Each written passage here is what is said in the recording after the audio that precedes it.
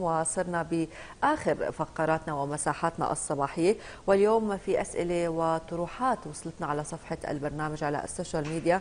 بخصوص مواضيع بتخص وزارة التربية. ضيفنا لليوم أكيد حيجاوبنا على هدول الأسئلة وهو الدكتور عبد الحكيم الحماد وهو معاون وزير التربية. سعد صباحك. أستاذ أهلا وسهلا بحضرتك. أهلا وسهلا نحاول نستغل الوقت المتبقي. البسيط المتبقي. آه، خلينا بالبداية قبل ما نحكي عن الاستفسارات. مع نهاية العام 2022 أكيد في خطة كبيرة كانت لوزارة التربية على الأرض. قديش فعليا نفذت هي الخطة؟ في عقبات أو صعوبات واجهتكم؟ في نقاط أساسية كنتوا حابين فعليا تحققوها وكملتوها؟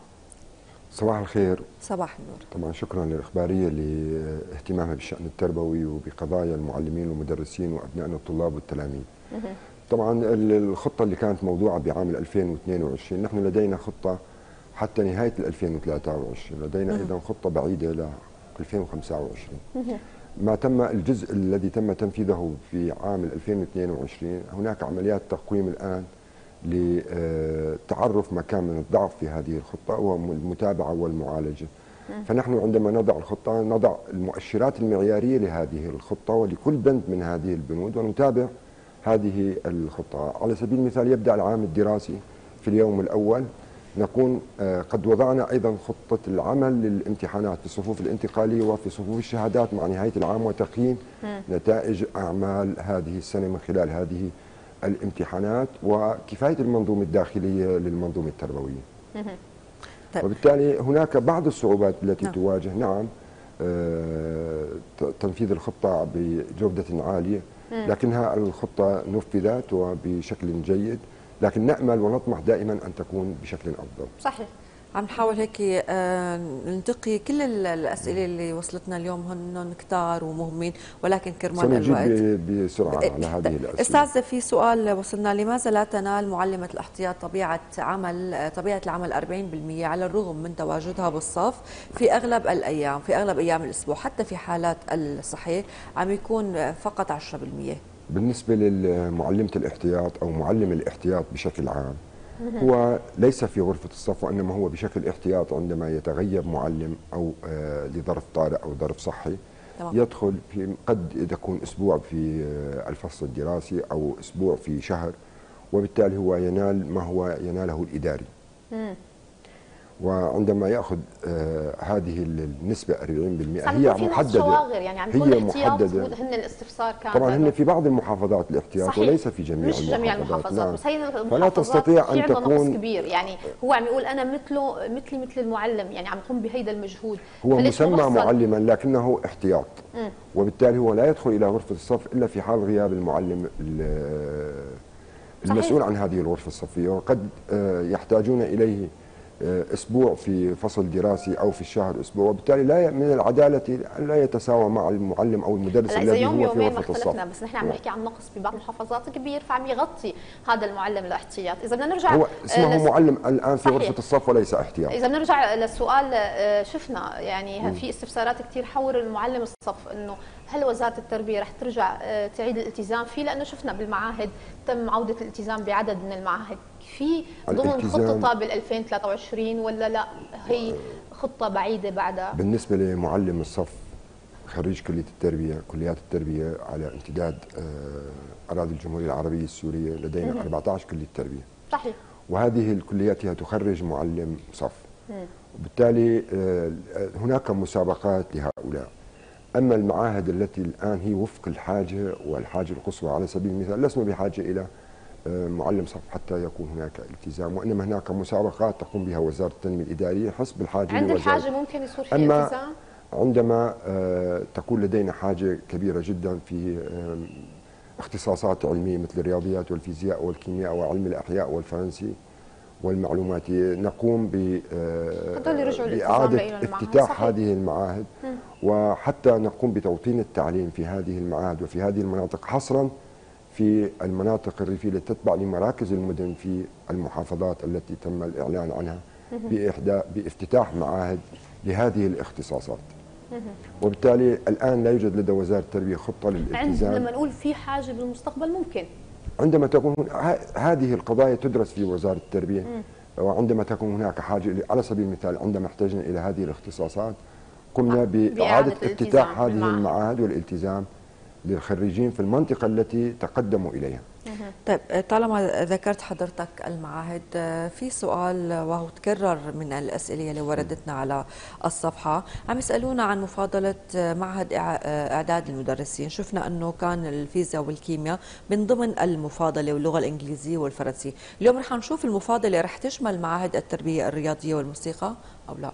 ما في خطة لهيك طبعا. وزارة التربية لديها معاهد التربية الرياضية قامت بالمفاضله واصدرت النتائج. لكن هذا ليس بإلتزام يعني ليس ملتزم وإنما هو يتقدم إلى مسابقة حين الإعلان عنها. وأيضا معهد الرسم والفنون التطبيقية والتشكيلية والمعاهد الموسيقية فهي قائمة في وزارة التربية. وحسب الاحتياج يتم الإعلان عن هذا الاحتياج وتزويد وزارة التنمية الإدارية به للإعلان عن المسابقه بس ما في التزام اليوم بين الوزاره بالتعيين هذا العام لا يوجد. لا يوجد بالنسبة للمعاهد الثلاث معهد التربية الرياضية في وزارة التربية ومعهد التربية الموسيقية ومعهد الفنون التطبيقية صحيح. والتشكيلية. دائما نحن أما الالتزام تم حصره بمعاهد فرنسي إنجليزي اللغة الفرنسية واللغة الإنجليزية حسب الاحتياج والرياضيات. والعلوم هي طبعا العلوم هي تتشم تتضمن علم الأحياء والفيزياء والكيمياء صحيح ذكرناه سابقا بحلقة نعم. سابقة معك نعم. دكتور ويمكن هذا الاستفسارات استفسارات طبيعية من طبيعية حق الناس نعم. تستفسر نحن نرحب بهذه معهد التربيه الرياضيه كان ملتزم في الدولة نعم. وتم الغاء نعم. الالتزام لهيك هذا السؤال متردد نعم. بشكل دائم خلينا نحكي بكل يمكن حلقة بيكون معنا ضيف من وزارة التربية نفس السؤال بشكل كثير كبير بيجي الاستفسار عنه نقص الكتب بعدد من المدارس آه، رح يتم معالجته ولا طبعا. ضمن الخطة عم يتم معالجته تدريجيا؟ لأنه في بعض المدارس عندها كتب قديمة مهترئة يعني في صعوبة وفي نقص أغلب. في أغلب المدارس طبعا شكرا لتوجيه هذا السؤال حول آه، نقص بعض الكتب في بعض المدارس. طبعا نحن المستودعات في وزارة التربية قد آه، استوفت الخطة الطباعية ووزعتها إلى مراكز أو منافذ توزيع هذه الكتب في المحافظات وما على الإدارة المدرسية. إذا كانت في مرحلة التعليم الأساسي فهي الكتب مجانية وإلزامية. م. وتذهب إدارة المدرسة ترصد هذه الاحتياجات وتقوم برصد هذه الأعداد. نعم. م. مرحلة التعليم الأساسي من الصف الأول وحتى الصف التاسع هي كتب مجانية. بس كان عم يحكوا عن قيم القيمة المادية لنسخ أسعارها. في المرحلة الثانوية إيه في المرحلة الثانوية لكن اسعار مقبولة؟ كان في تداول اللي عنده مثلا صف تاسع أو بكالوريا بالصف يعني نسختين عم يكون المبلغ كبير أو ثقيل. زميلتنا الكريمة وزارة التربية أوجدت جميع الحلول وتسهيل وتيسير خلينا نحكي عن على الأولياء. يعني من الصف الأول وحتى الصف التاسع هي مجانية. صحيح. وبالتالي يذهب تذهب إدارة المدرسة إلى مديرية التربية وتقوم بختم هذا العدد ويذهب إلى مستودع الكتب المدرسية ويتسلم ما ينقصه تماما. بالنسبة للمرحلة الثانوية إذا كان هناك أكثر من آه اثنين في المدرسة وهم أخوة فارتأت وزارة التربية أن تقوم بتسليمهم نسخة مجانية وبالتالي وجدت وزارة التربية هذه الحلول لكن ضمن الضوابط ضمن الضوابط التي تراها مناسبة نعم. قبل ما نسكر قصة الكتب ونقص الكتب وردنا استفسار نحن على الهواء دكتور آه، من منطقة جبلة. عم يقولوا لنا في بعض الروضات اللي أنشأتها الدولة ضمن المدارس الحكومية إنه إلى شهرين دولة الروضات مبلشة وما في كتب لهدول الأطفال اللي هن بالروضة. سلموهم كتاب واحد. وإذا بدنا نحدد اسم المدرسة آه، قرية حرف الساري. موجودة المدرسة اسمها قرية حرف الساري. القرية نحن هلا يعني عندما أخرج من هذه من هذا اللقاء سأقوم بالمتابعة لهذه الروضة في مدينة جبلة مع زميلنا مدير التربية وإذا كان يسمعنا سيقوم بالمعالجة قبل أن أتصل به. لكن آه، رياض الأطفال ليس لها كتب وإنما لديها كراسات وخبرات. وهذه الكراسات متوافرة وأيضا في آه، مستودعات آه، بيع الكتب أو تصنيع وتوزيع الكتب في المحافظات. فما على إدارة الروضة؟ إذا كانت هي ضمن مدرسة يعني هناك آه، شعب استعدوا من عمر خمس سنوات فإذا كانت من هذه الفئة ما عليهم إلا أن يذهبوا إلى مستودع الكتب والاتيان بهذه من المتابعة لأنه دكتور أنا عم لك على الهواء نحن وصلنا لاستفسار شكرا للتسمية بشكل دقيق حتى نستطيع المتابعة الدقيقة لمثل هذه الحالة. نتمنى على طول مثل ما قلنا التواصل بشكل مباشر لحل كل المشاكل، دكتور خلينا نحكي معك عن فينا نقول الاختبار الكتابي للموجهين الاختصاصيين اللي رح يقام ب 26 11 عم يجينا استفسار شو هو طبيعة هيدا الاختبار؟ وبعد هيدا الاختبار شو الإجراءات اللي رح تقوموا فيها من قبل وزارة التربية؟ طبعا آه، حتى تكون هناك موضوعية ومصداقية في الانتقاء. عندما نريد أن ننتقي موجها اختصاصيا أو موجها تربويا أو موجها اولا من الزملاء المدرسين ومن خيرة الكفايات والخبرات. فمن تنطبق عليه شروط العشر سنوات كما نص عليه القرار 853 لعام 2008 للقيادة المركزية بأن تكون لديه خبرة في التدريس عشر سنوات على الأقل ويحمل دبلوم تأهيل تربوي.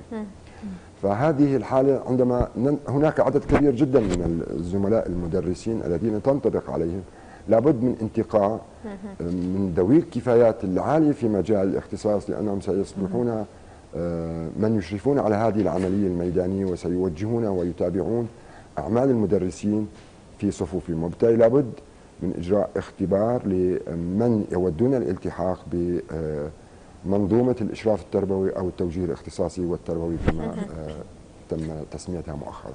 طيب خلينا نحكي عن طبعا الهدف هو نوعية هذه الاختبارات هي عالية المستوى في المجال الاختصاصي. طيب سؤال لحضرتك دكتور عم يقولوا لنا إنه آه، المحدد مركز عمله حيتعامل معاملة المدرس في كمدرس أساسي أو حيكون كدرجة ثانية. المدرس المحدد مركز عمله. مركز عمله. في المنطقة اللي اجى اجى تحديد مركز عمله. كيف نعم. حيتم التعامل معه؟ هل رح يكون أسوة بالمدرسين الأساسيين أو ممكن يكون درجة ثانية؟ المدرس أينما كان فهو مدرس في الجمهورية العربية السورية وله كرامة المدرس أينما كان سواء كان محدد مركز عمله أو في المنطقة أو في المحافظة أو في المدرسة التي تم تعيينه بها بشكل مباشر. وبالتالي لا فرق بين هذا وذاك وفي أي مكان كان. طيب دكتور إجتنا استفسارات كثيره حول حول معلم وكالة يعني ما بدي اختصرها بشكل عام. نعم. من هو المعلم اللي يحق له يكون يعني طالب أو خريج معهد أو خريج جامعة يحق له يكون مدرس بالوكالة؟ يعني عم يقول في تعارض ببلاغات التربوية ما بدي اوقف عندها ليس هو خليني أحكي الشروط أو من هو اللي يحق له عندما يكون مدرس يتقدم بالوكالة؟ عندما يتقدم إلى طبعا ما في بلاغ وزاري تعارض مع بلاغ وزاري سابق. لكن آه هلا بناء عندما على الاستفسارات اللي اجتنا. عندما يعني عم يقولوا في عدة بلاغات إنه خريج ولا سنة ثالثة ولا رابعة. عندما يتقدم إلي خريج جامعة. مم. ويطلب كيف نتعامل معهم مع هؤلاء آه، الزملاء الذين تقدموا مم. إلى آه، وكالة اختصاصية. فعندما توافر فيه الشروط الآتية أن يكون خريجا حسب الطلب أو الحاجة في مديرية التربية أن يكون نصابه كامل حتى يحصل على وكالة اختصاصية بنصاب كامل. حتى لا يروح إلى منظومة الساعات والتي لا تفي بالغرض بالنسبة لهذا المكلف. صحيح. وبالتالي أصدرت وزارة التربية لم تلغي القرارات السابقة وإنما أجابت على سؤال الميدان. هل نعطيهم وكالة اختصاصية؟ على سبيل المثال بدلا من أن يأتي سنة أولى ولدي خريج ترجمة على سبيل المثال في اللغة الإنجليزية. فكلفناه بوكالة اختصاصية كاملة. سواء كان في صفوف الحلقة الأولى أو الثانية أو في المرحلة الثانوية بوكالة اختصاصية لكن عندما يسأل هل ستصبح هي شهادة تعليمية لا لكن هذا لسد النقص والثغرة وفق الاحتياج. آه. لكنها ليست شهادة تعليمية وإنما ما درسه هذا الطالب في الترجمة للغة الإنجليزية أو الفرنسية هي إعداده مترجما وليس معلما وخريج أدب إنجليزي. عندنا آه، شكوى من إحدى آه، المدرسات التربيه الرياضيه بمدرسة الأهلي الأهلية الوطنيه بمشروع دمر. آه، الانسي عم بتقول إنه هي تم فصلها بدون سبب مقنع وتم فصلها عن طريق رسالة على الواتساب بعثوا لها رسالة إنه تم الفصل. على ما يبدو صاير مشكلة سوء تفاهم. الانسي عم تقول إنه ابدا الحق مو عليها. بهيك حالة هي لمين ممكن تلجأ؟ هلأ هي تعمل بموجب عقد؟ لدينا في كل مديرية تربية هي تتبع لمديرية تربية دمشق أعتقد بإمكانها تتقدم إلى مديرية التربية إلى دائرة التربية الخاصة وترفع شكواها وتتم المعالجة إما على مستوى مديرية التربية أو على المستوى لا يحق الفصل إذا في عقد. نعم. لا يحق الفصل. لو طبعا مدرسة سيتم التدقيق في مثل هذا طريق رسالة سيتم واتساب. سيتم التدقيق في مثل هذه الشكاوى. لأننا نسمع من طرف واحد لم نسمع من الطرف الثاني. طيب نحن وقتنا خلص دكتور بدنا نشكرك. يعني حاولنا خلال الوقت القصير في كثير من الأسئلة والاستفسارات خصوصا ما يخص قطاع التربية ووزاره التربية. نحن جاهزين في وزارة المره الجايه بدك تجي ابكر مشان نقدر ناخذ كل الأسئلة. أو ناخذ حلقه خاصه يعني صحيح. نجاوب فيها على جميع الأسئلة. طبعا توجيهات السيد الوزير دائما للمعالجة السريعة لأي مشكلة تواجه عمل المدرس في الميدان أو لأي صحيح. قضية تربوية بشكل عاجل ومباشرة. والمتابعة لهذه المعالجة. أكيد بالختام بدنا نتشكرك وأهلا وسهلا فيك. شكرا كثير لك. أهلا وسهلا شكرا دكتور لحضورك وتحياتنا لك ولكل وزارة التربية ولكل العاملين ضمن الوزارة. أهلا وسهلا بكم. مع عالم التربية والجهود اللي عم تقوم فيها